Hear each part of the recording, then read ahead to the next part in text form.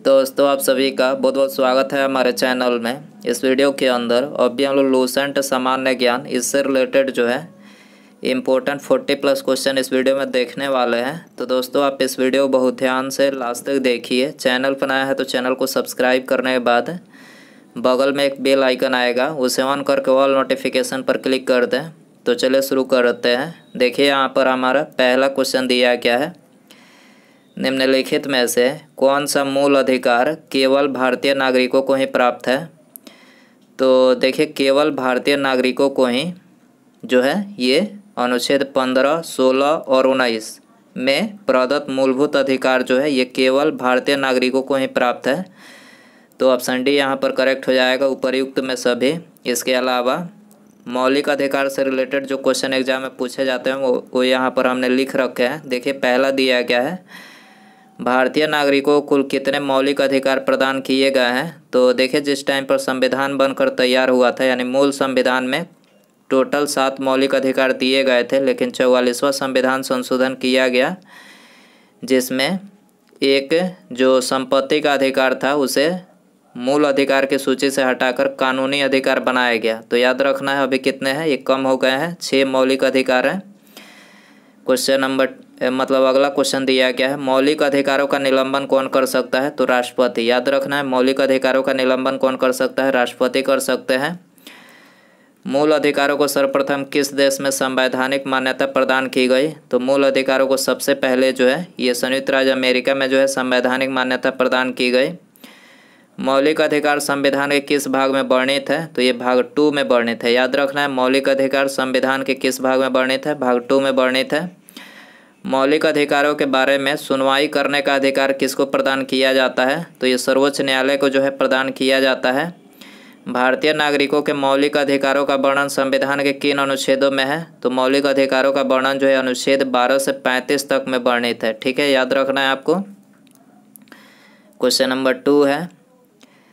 निम्न कथन पर विचार करें। तो देखिए, यहाँ पर तीन कथन दिए गए हैं। आपको इस, इन तीनों कथनों पर विचार करना है। देखिए, पहला कथन दिया गया है, राज्यसभा के सदस्यों का कार्यकाल छः वर्ष का होता है। तो देखिए, ये कथन बिल्कुल करेक्ट है। दूसरा कथन है, राज्यसभा राज्यसभा सदस्य के लिए कम से कम पैंतीस वर्ष आयु होना आवश्यक है। तो ये भी कथन जो है बिल्कुल करेक्ट है। और तीसरा कथन दिया गया है, राज्यसभा स्थायी सदन है, लेकिन इसके एक चौथाई सदस्य प्रति दूसरे वर्ष पद मुक्त हो जाते हैं। तो ये भी कथन जो है करेक्ट है। तो यहाँ पर ऑप्शन डी करेक्ट हो जाएगा, उपरयुक्त सभी, ठीक है? क्वेश्चन नंबर थर्ड है। धन विद्या को राज्यसभा अधिकतम कितने दिनों तक रोक सकती है? धन विधेयक को राज्यसभा अधिकतम कितने दिनों तक रोक सकती है? तो अधिकतम जो है ये चौदह दिनों तक रोक सकती है। ऑप्शन ए यहाँ पर करेक्ट हो जाएगा। क्वेश्चन नंबर चार है। कोई व्यक्ति उच्च न्यायालय का न्यायाधीश नियुक्त होने का पात्र होगा जब वह तो देखिए उच्च न्यायालय न्यायाधीश होने की क्राइटेरिया इसमें पूछा गया है।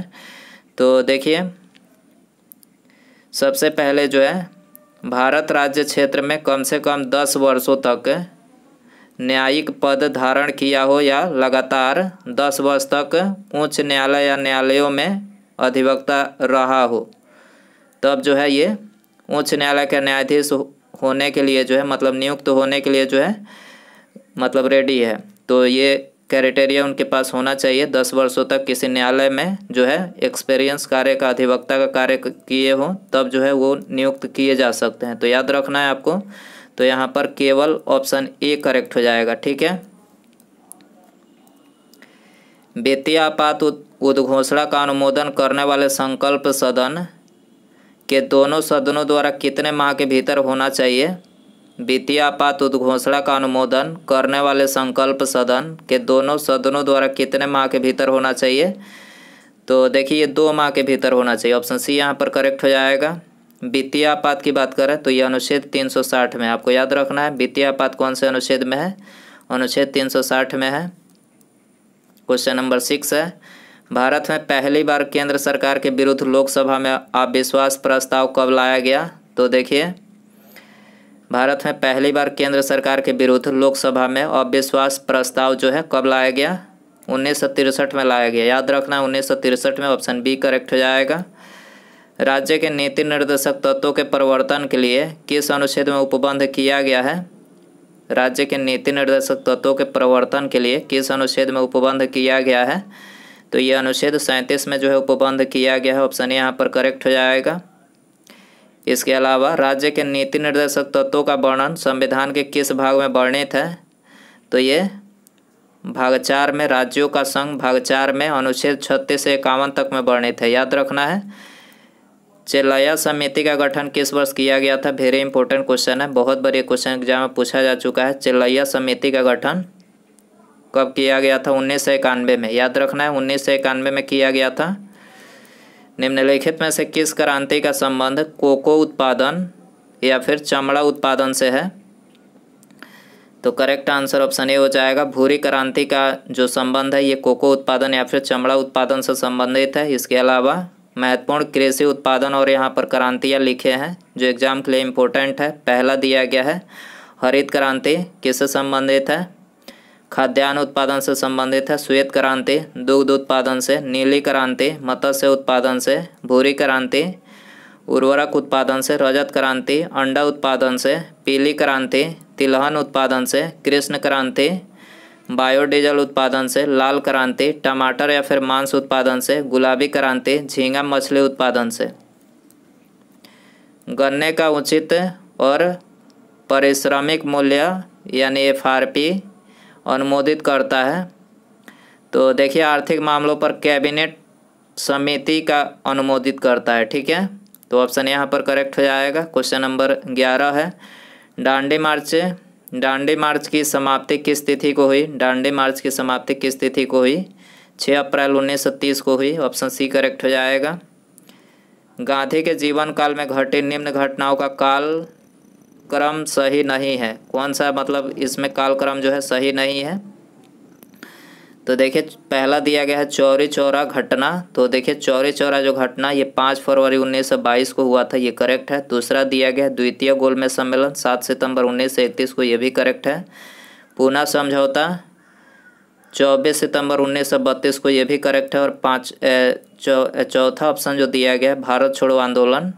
तो भारत छोड़ो आंदोलन कब हुआ था? आठ आठ या नौ अगस्त उन्नीस सौ बयालीस को हुआ था, ठीक है? नौ अगस्त उन्नीस सौ बयालीस को जो है भारत छोड़ो आंदोलन हुआ था तो यहीं पर ये गलत है। तो ऑप्शन डी यहाँ पर करेक्ट हो जाएगा। आज़ाद हिंद फौज के साथ सुभाष चंद्र बोस ने सिंगापुर में स्वतंत्र, भारत की अस्थायी सरकार का गठन कब किया?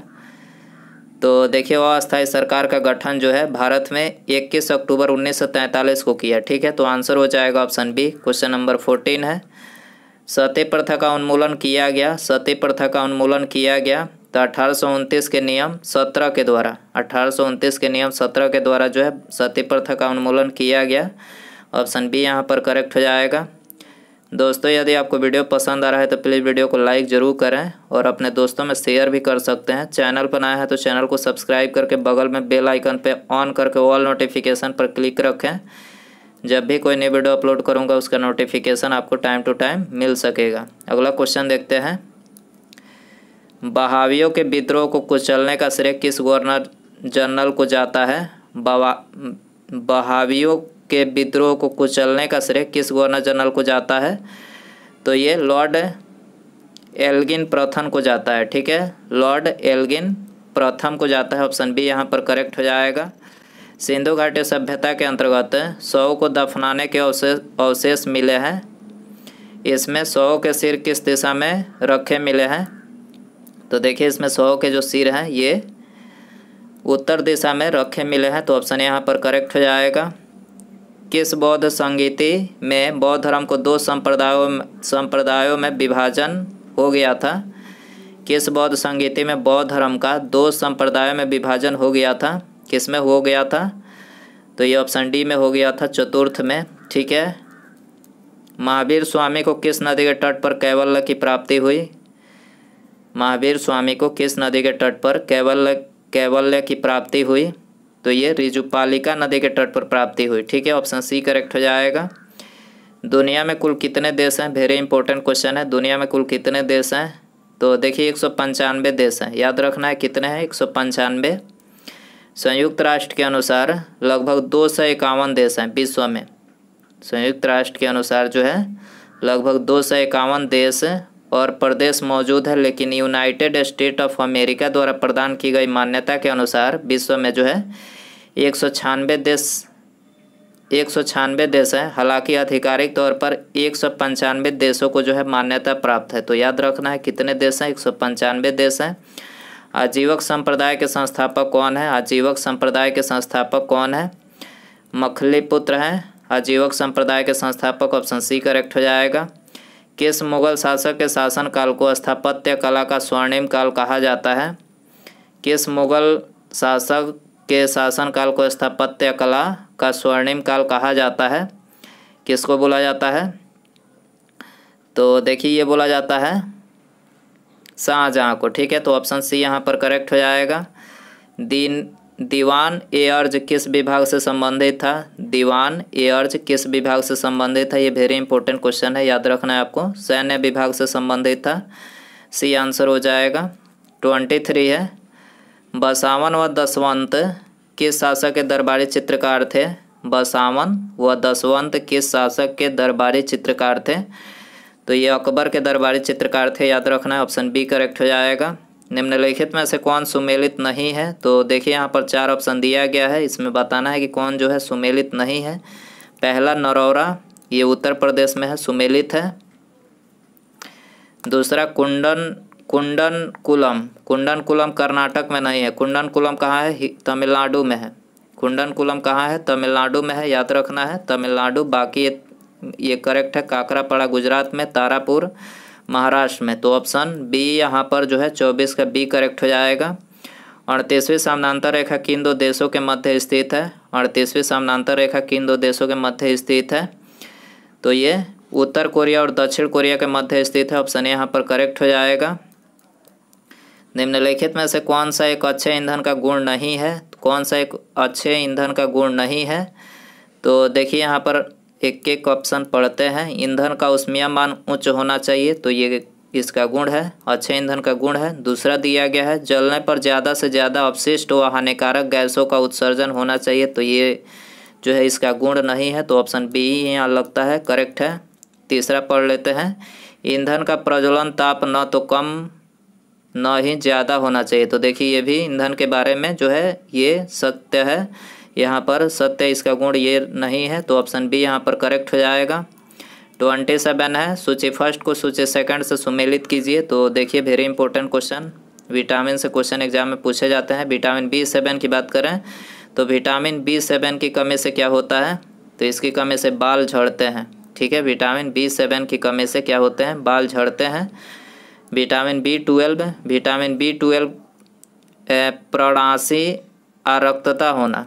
विटामिन ई e की बात करें तो बाजपन उत्पन्न होना, बाजपन उत्पन्न होना विटामिन ई e की कमी से विटामिन के रक्त जो है थका, इसकी कमी से नहीं बनता है। तो याद रखना है, तारों के मध्य दूरी ज्ञात करने की इकाई है। तारों के मध्य दूरी ज्ञात करने की इकाई इनमें से कौन सा है? तो प्रकाश वर्ष के द्वारा जो है तारों की मध्य जो दूरी होती है, उसको ज्ञात किया जाता है। निम्नलिखित में से कौन सा रोग पुरुषों की तुलना में महिलाओं में बहुत कम होता है? कौन सा रोग जो है पुरुषों की तुलना में महिलाओं में बहुत कम होता है? तो ये है वड़ांधता वड़ांधता जो है पुरुषों में ज़्यादातर देखने को मिलते हैं। इसमें कलर पहचानने में प्रॉब्लम होती है इस रोग के अंदर। याद रखना है आपको। हीमोग्लोबिन, लाल रक्त कोशिकाओं के अंदर का एक प्रोटीन है और यह निम्न में से किसका वहन करता है? तो देखिए, हीमोग्लोबिन जो है किसका वहन करता है? ऑक्सीजन का वहन करता है। याद रखना है, ऑप्शन ए करेक्ट हो जाएगा। किसी पदार्थ को एक अवस्था से दूसरी अवस्था में बिना तापमान में बदलाव के परिवर्तन होने के लिए आवश्यक उष्मा की मात्रा है। तो क्या है? गुप्त उष्मा। उष्मा की मात्रा, गुप्त उष्मा, ऑप्शन डी करेक्ट हो जाएगा। बत्तीस देखते हैं, निम्नलिखित निम्नलिखित कोशिका अंगों में से किसमें न्यूक्लिक अम्ल नहीं पाया जाता है? तो देखिए किसमें जो है न्यूक्लिक अम्ल नहीं पाया जाता है? तो जीव द्रव्य में जो है नहीं पाया जाता, ऑप्शन डी करेक्ट हो जाएगा। निम्नलिखित में से कौन सा विटामिन ए का अच्छा स्रोत नहीं है? तो विटामिन ए का अच्छा स्रोत इनमें से कौन सा नहीं है? मछली का तेल विटामिन ए का अच्छा स्रोत है, पालक भी है। जंतुओं के यकृत एवं गुर्दे। ये जो है विटामिन ए का अच्छा स्रोत नहीं है तो ऑप्शन सी करेक्ट हो जाएगा। विटामिन ए आम जो है, ये विटामिन ए का अच्छा स्रोत है तो ऑप्शन सी यहाँ पर करेक्ट हो जाएगा। चौंतीस देखते हैं। धातुओं में सबसे कम घनत्व वाला तत्व कौन सा है? धातुओं में सबसे कम घनत्व वाला तत्व बताना है इसमें। तो लिथियम जो है, सबसे कम घनत्व वाला तत्व ऑप्शन बी करेक्ट हो जाएगा। प्राकृतिक रबड़ के बारे में निम्नलिखित में से कौन सा कथन सही है? सही बताना है। प्राकृतिक रबड़ के बारे में तो देखिए, पहला ही कथन जो है, सत्य है, यह एक प्राकृतिक बहुलक है और इसमें लोचदार गुण होते हैं। तो ये प्राकृतिक रबड़ के बारे में करेक्ट है किसी तत्व का रासायनिक गुण निम्नलिखित में से कौन तय करता है? वेरी इंपॉर्टेंट क्वेश्चन किसी तत्व का रासायनिक गुण कौन तय करता है? इलेक्ट्रॉन की संख्या तय करता है। ठीक है ऑप्शन सी करेक्ट हो जाएगा। देवप्रयाग किन नदियों के संगम पर स्थित है? देवप्रयाग किन नदियों के संगम पर स्थित है? तो ये भागीरथी और अलकनंदा के संगम पर स्थित है। ऑप्शन ए करेक्ट हो जाएगा। निम्नलिखित में से किस राज्य से कर्क रेखा बीचों बीच गुजरती है? कर्क रेखा किन राज्यों से बीचों बीच गुजरती है? तो ये मध्य प्रदेश से जो है बीचों बीच गुजरती है। ऑप्शन सी करेक्ट हो जाएगा। निम्नलिखित में से कहाँ, निम्नलिखित में से कहाँ सर्वाधिक जैव विविधता पाई जाती है? तो जैव विविधता जो है सबसे अधिक कहाँ पाई जाती है? तो देखिए, ये पाई जाती है उष्ण कटिबंधीय वर्षा वन में, ठीक है? उष्ण कटिबंधीय वर्षा वन में जो है सर्वाधिक जैव विविधता पाई जाती है, ऑप्शन सी करेक्ट हो जाएगा। फोर्टी है। निम्नलिखित में से कौन सुमेलित नहीं है? कौन सुमेलित नहीं है? इन चारों में बताना है आपको। तो पहला दिया गया है बांधवगढ़ राष्ट्रीय उद्यान। तो ये मध्य प्रदेश में रोहला राष्ट्रीय उद्यान। ये गुजरात में नहीं है, कहाँ पर है? हिमाचल प्रदेश में है, ठीक है? रोहला जो है, ये हिमाचल प्रदेश में सिमलीपाल राष्ट्रीय उद्यान, उड़ीसा में है, बांदीपुर राष्ट्रीय उद्यान, कर्नाटक में है। याद रखना है, निम्नलिखित में से कौन शीत सागरीय जलधारा नहीं है? शीत महासागरीय जलधारा नहीं है, इनमें से कौन सा? तो देखिए ऑप्शन डी करेक्ट हो जाएगा, अगलुआस जो है अगलु अगलुहास जो है, ये शीत महासागरीय जलधारा नहीं है। बाकी ये तीनों है, बेंगुएला हम्बोल्ट और लेब्राडोर तीनों जो है ये शीत महासागरीय जलधारा है। अगलुहास जो है नहीं है तो ऑप्शन डी यहाँ पर करेक्ट हो जाएगा। अगला क्वेश्चन देखते हैं। निम्नलिखित में से किस नदी को दक्षिण भारत की गंगा कहा जाता है? किस नदी को दक्षिण भारत की गंगा कहा जाता है? तो कावेरी नदी को बोला जाता है। ऑप्शन बी यहाँ पर करेक्ट हो जाएगा।